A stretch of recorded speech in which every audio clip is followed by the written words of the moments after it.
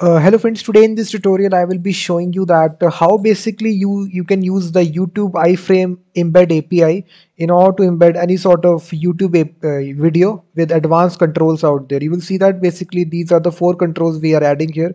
You can uh, go to any time of the video, any timestamp. You can control the volume, you can control the duration of the video, you can play the video, pause the video.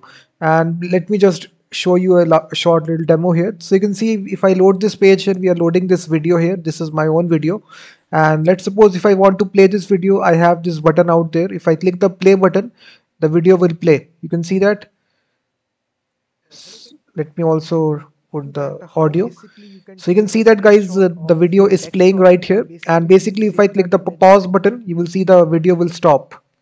The video is stop. Again if I play you will see that so we can see we are controlling these two events out there. We are pausing the video. We can also play the video also. So this is all uh, coming through the youtube iframe uh, video embed api and uh, then also guys you can also control the duration. So let's suppose if i inside this range input field out there. So basically if i increase it you can go to and this is the full volume. and type you can see that. Screenshot as we can control this volume using this simple little slider here. We don't need to go to, into the youtube player to control the volume. We can control it using this like this. You can see that?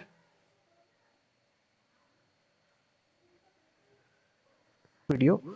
So you can we can control the duration. Whenever you initialize your node you can see that just require it. We are controlling this in the command line simply write here npmi with this slider. You can see that the uh, volume is gone. Simply you need to and let's suppose guys if you want to go to a specific section of the video let's suppose if you want to go to this section without uh, having to press like this you can control like this. Basically you can go to any location of the video.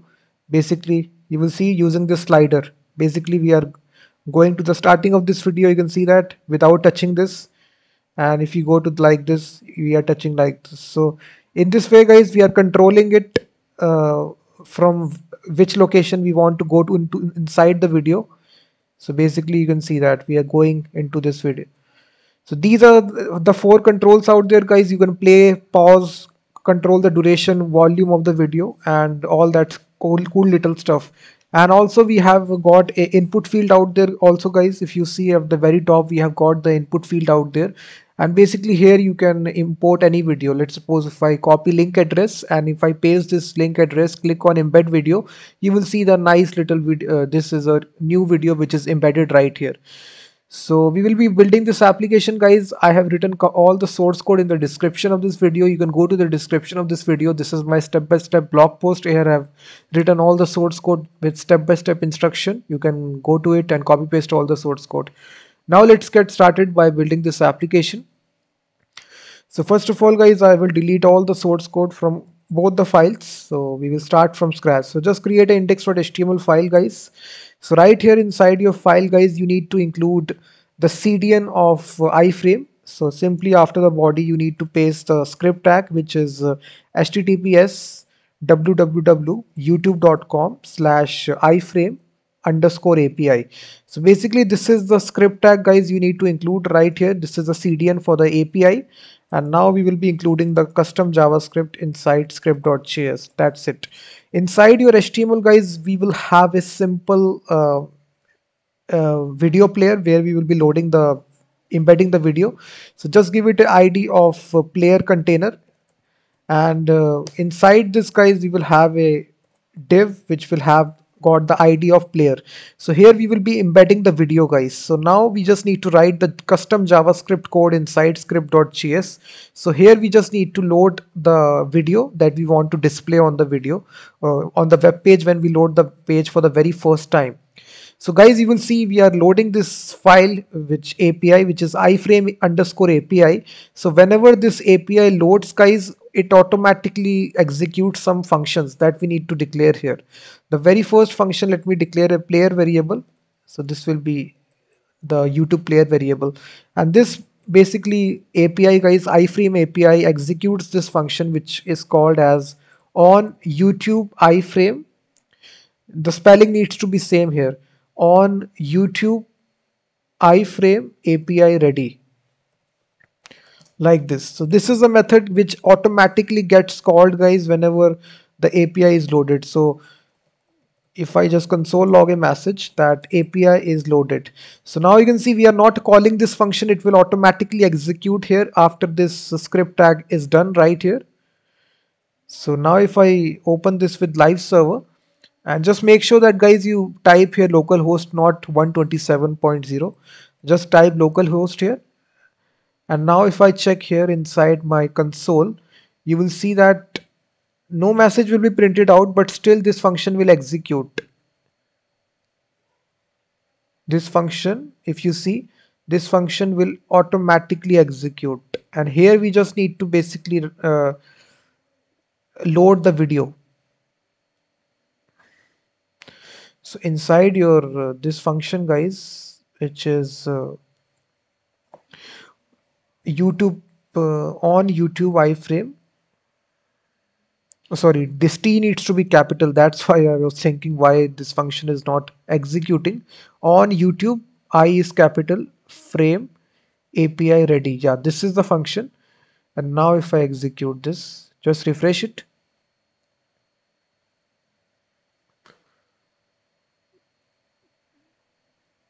So now you can see that guys in the you can see the message api is loaded so basically guys, this is the method which gets loaded every time you load the API. So here we can basically embed our video. We can create the player here. Basically, we can simply say that player is equal to new yt dash player. So yt, they, basically this contains a constructor. Let me just write this dot player and here guys we just need to assign the whatever id that you have given to the this one which is player. So this needs to be same here. So we are passing this player id here. And the second argument it takes the options. It you can control the height of the video player. Let's suppose i pass 500 width will be around 900 and then we just need to pass the video id guys. Video id is nothing but uh, if you go to YouTube and let's suppose if you want to embed this video you will just copy this link address. And this is basically the video ID so simply you need to copy this video ID and simply paste it. So right here this is a video ID and then we got a object guys which is uh, executes player variables. And this includes your uh, controls playsinline this contains constant values. Autoplay if you want to autoplay a video this needs to be one but we will not autoplay the video. And controls. If you want the controls you will put one. If you don't want it you will put zero. So this is like that. And now you can even attach some uh, events also guys. This also takes some events object. And uh, on ready is one event inside iframe api so we will attach this custom function which is on play ready. And the next property is on state change. Like this. So these are not mandatory guys. We are just uh, i will i am just showing you this exist. So we can execute a custom function on player state change like this. So we can just uh, basically define these functions which is uh, first of all on player ready. And inside this we can console log ready. And then our we can declare a done variable to false. And right here we can declare our function on player state change. And we this basically receives this event whenever it's called. And basically we can just compare it if event dot data is double equal to yt dot uh, player state playing and uh, done is not false. So in that case we will say we will change it to true. Done is equal to true. That's it. So this is not mandatory for uh, embedding the video id guys. Sorry video player. We are just writing it for the sake of writing. So now you can see we are loading this uh, video id you will see inside this. So if you refresh your application now hopefully you will see a video appearing here you will see that Google Docs clone in React.js socket.io. This is the same video ID we are passing. So you can control basically the, let's suppose if you want, uh, let me zoom out something. So this is, you can see. So if you want the controls out there guys, you will see the controls will be there. If you don't want the controls let's suppose you put 0 here. So now the controls will not be there. You will see that? You can see controls are not there. And now if you want to autoplay the video you will put 1 here and again as it loads uh, video will autoplay like this and then we have the third variable which is playsinline so if you put it 0 basically what it will do it will not display this video. So just make sure that you put this value to be one playsinline so that it will basically embed this video. And this is all the basic options guys I have shown you. And now we will be going ahead and basically we will have this uh, we will have a simple form element where we can dynamically change the video based upon the user input and we will attach the ID to the form of form. And basically here guys we will be uh, entering a simple input field where the user can write his or her URL input type URL and ID will be URL and placeholder enter YouTube video URL and basically this is required. And then we will have a simple button which will say embed video so here you just need to type your URL and right here we will first of all get the reference of the form. We will be attaching a event listener. So when the form submits this is the event handler and this second parameter will be e. And here we will be preventing the auto submission of the form by e prevent default. After this we will get the url that the user writes which is uh, document.get element by id url dot value. So this is the url that the user has written. And now after this guys we just need to change the video based upon the id so first of all we will extract the we will declare basically video id at the very top.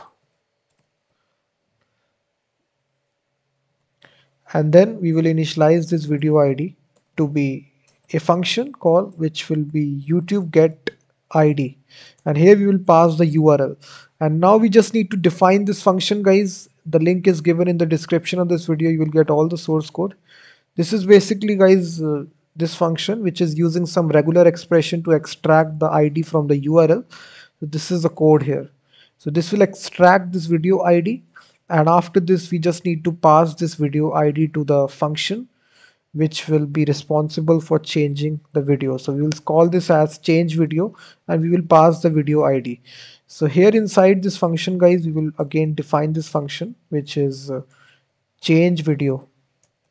And here you will pass your video id and inside this guys inside this change video function what we need to do is that we need to change the video which is displayed.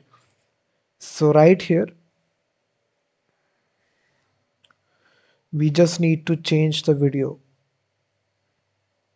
Yeah. So the very first step we will do player dot cue video by id this basically it's a method. And here you just pass two options. First first is the suggested or this side this is not required. You can simply pass your video id which is video id that's it. And then after that you can pause the video so this basically contains pause video method. With the help of this method you can pause the video and here you can call play video. This will play the video. And also this has third method of stop video. So with, so these are three methods are available. So in this case we will pause the video like this. So now if you basically load this application in the browser and now if you change basically the url here if you see this url let me copy this one copy link address. If I now paste it you will now see the link has not been changed. Let me see. YouTube get ID is not defined. Let me see.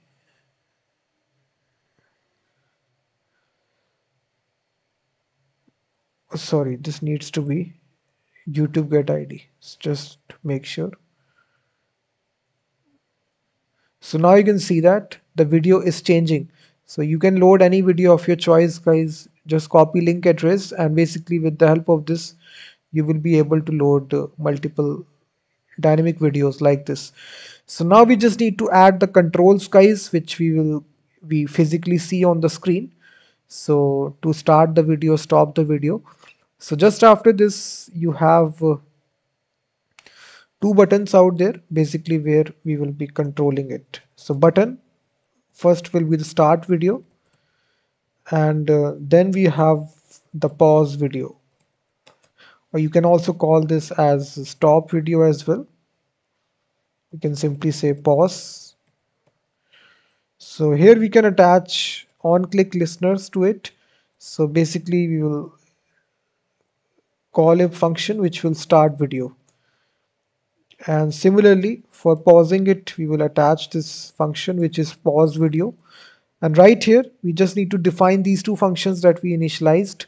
So right here for starting this video this will be the function which will start video. So inside this we will simply call player dot start video. That's all. And simply for pausing it we will simply call here pause video and inside this function we have this function which is pause video. That's all. This is really simple and now if you go to the application you will see that. If I now click the start button let me see here why it hasn't started. Player dot start video is not a function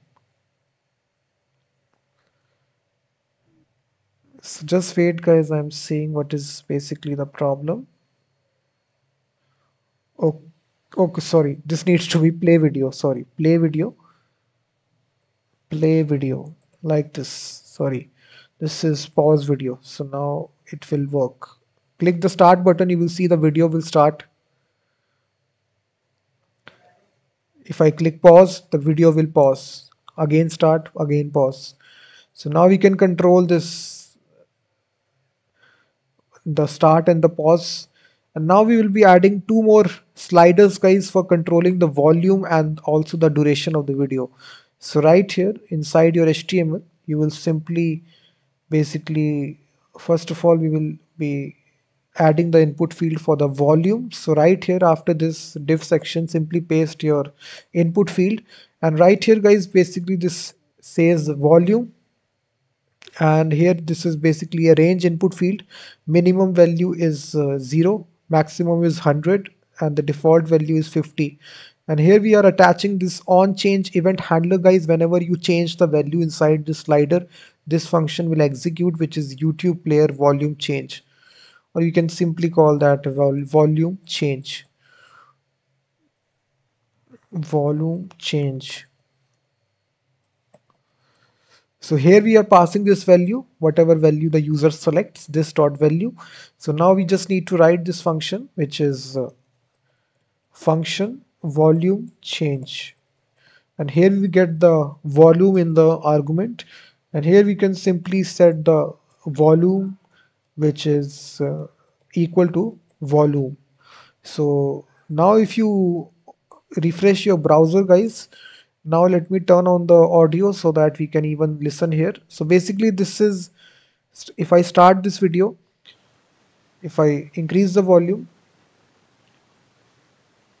if you decrease it you will see the volume will be gone if I increase uh, hello friends, again, today in this live stream we will be building a Google Docs clone inside our React.js, MongoDB and Socket.io. You can see that basically you can control the, the volume. This is a slider guys from which we are uh, basically controlling the audio. Now we have to have the second button, second slider from which we can control, we can move ahead and move backward in the video. So basically this will be the second slider. So simply paste this one. So simply copy paste here. And right here we will have this. So again guys this will be a range input field slider. Maximum value is 100 minimum is 0 and uh, the, this one is also 0 default value. And we are calling this uh, YouTube player current time change. And also on input as well like this. So these two methods are there. So simply you need to copy these two methods. I have given in the description of this video in the blog post so I will explain you what these two methods are doing here. Simply paste it. Simply just delete this. So you can see that guys basically the two lines of code is there. It is first of all setting the current time sliding to false and then it is basically moving to whichever time the user has selected in the video using the seek to method. So we are doing some kind of mathematics also to move the pointer and now do basically current timing sliding to true like this so now if you basically refresh your browser guys just change it to localhost.